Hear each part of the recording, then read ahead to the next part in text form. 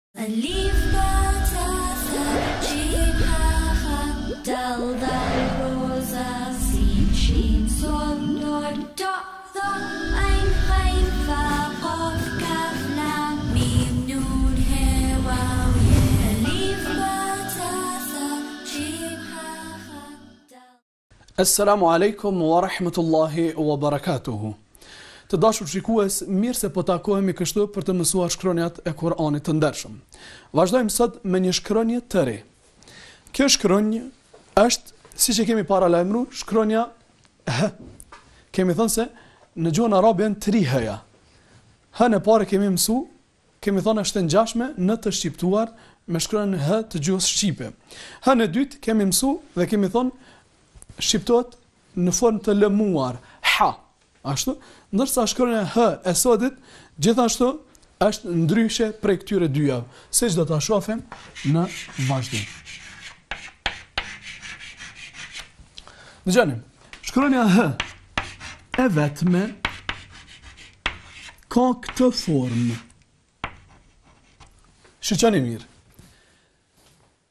E ngjashme me shkronjën gjë, por shkronja gjë ka pas pikën poshtë. E ngjashme edhe me shkronjën hë, por shkronja hë s'ka pas pika fare. Ndërsa shkronja hë cilën po e mësojmë sot, ka pikën lart. Në të shkruar ka këtë formë, ndërsa në të shqiptuar. Në të shkruar është identike me shkronjën gjë dhe me shkronjën h, por dallon prej tyre sepse shkronja h s'ka fare pikë. Ashtu. Shkronja gjë e ka pikën poshtë, ndërsa këtë hë që po e mësojmë tani, në të shkruar e ka pikën lart sipri, ndërsa dëgjoni se si shqiptohet. Përderisa shkronja h ishte kësi fun,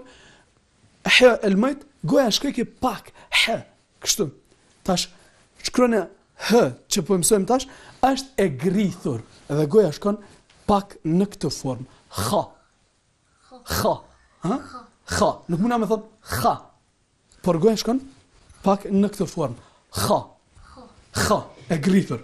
Sikur kur dëshirojmë faktisht ë me pështy, e të ngjashme me të. Domethënë kjo është ha. Ha e vetme. Është shkronjë e rëndë, domethënë fetha mbi të lexohet a, dhe tenvini en mbi ta lexohet an. E fillimit është identik Me shkronjën h dhe gj, por ka pikën sipër e mesit është identike me shkronjën h të mesit apo edhe me shkronjën gj. Por të mesit ashtu, por ka pikën sipër. Po. Dhe e fundit është identike me shkronjën Gj të fundit dhe me shkronjën H të fundit, por shkronja H ka pikën lart. Ka pikën sipër. Shkronja H kur ka fetha. Ashtu në të gjitha format e saj. Ajo duhet lexuar ha. Provoni gjithë nxënsat. Ha ha ha. Edhe një ha. Ha. Goja shkon pak ha. Ha. Bukur shumë. Shkronja h. Kur ka kesra. Në gjitha format e saj, po. Hm? Duhet ta lexojmë.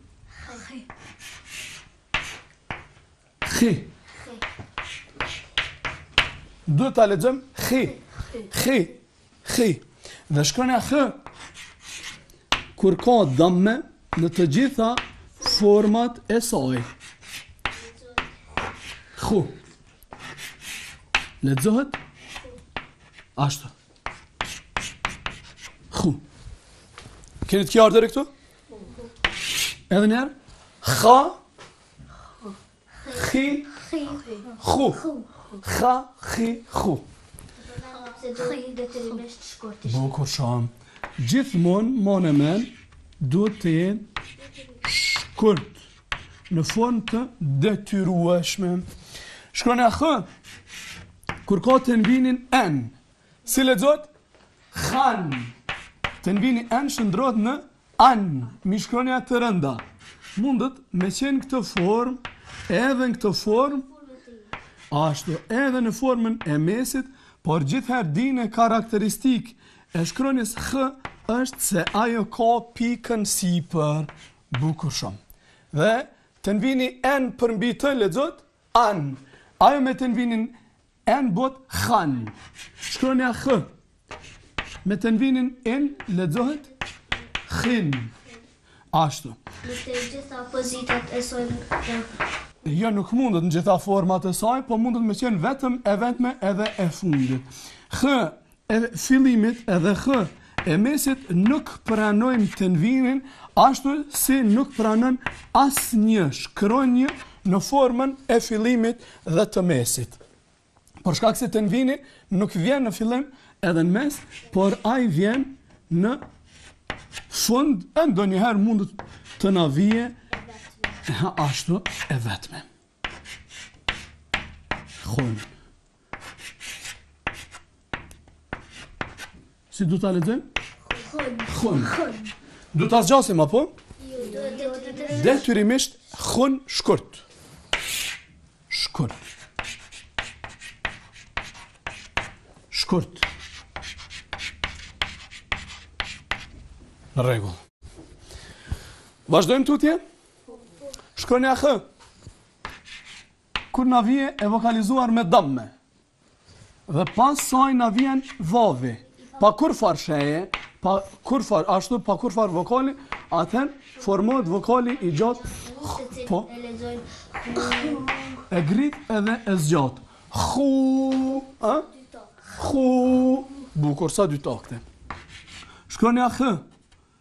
Kur ka kesra dhe pas saj na vije ja, ja e pavokalizuar, formohet vokali i gjatë i, të cilin e lexojmë hi.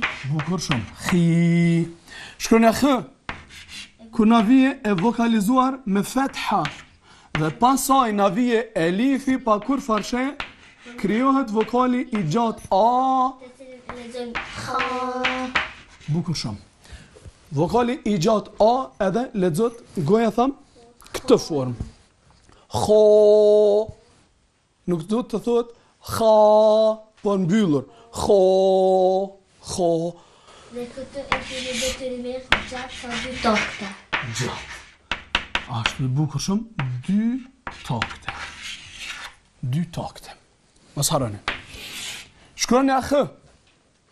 Kur vije me sukun. Shiqoni.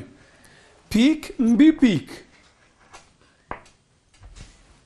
Kjo është pika që është përbërse, pjesë përbërse e shkronjës hë, dhe kjo është sukuni. Ashtu, sukuni nuk mund të marrë në fillim të fjalës, por, ai vjen faktisht në mes ose në fund, atëherë i vazhdojmë po i. Qesim diçka, Po e zëmë e ose u përpara, hajt shkojmë me u kësaj radhe, e bëjmë uh, apo? Shkurt. Uh, jo, uh, e as, oh, por uh. Bukur. Shkronja h. Kur është me teshdid. Po e zëmë kësisoj. E kapim, e lidhim kësi forme. E kha. Shkurt. Nuk e zgjat. E kha. Jo. E kha. E kha. Gjithë rrim qëndrojmë mbi shkronjë, jo mbi vokal. Shkronjë është kh, jo mi a. E kha. Ehh. E kemi të qartë? Dhe në fund krejt e shofim se si shkronja h na vjen kur dëshirojmë të formojmë fjalë. E marrim shkronjën h të fillimit. Pasojmë me shkronjën h të mesit. Ashtu dhe përfundojmë me shkronjën h të fundit. Bukur.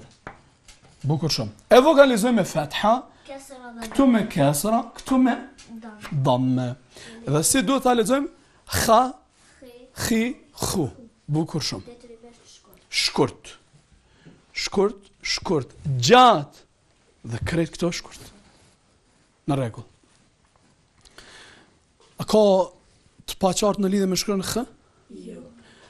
Para se me fillu me lexu, edhe një herë po e bëjmë një rezume të shkurt për arsye se kjo shkronjë nuk ekziston në gjuhën shqipe. Ma e përafërt është me shkronjën H, porse dallon në të shqiptuar. Prandaj lirë muna me thon se nuk ekziston në gjuhën shqipe.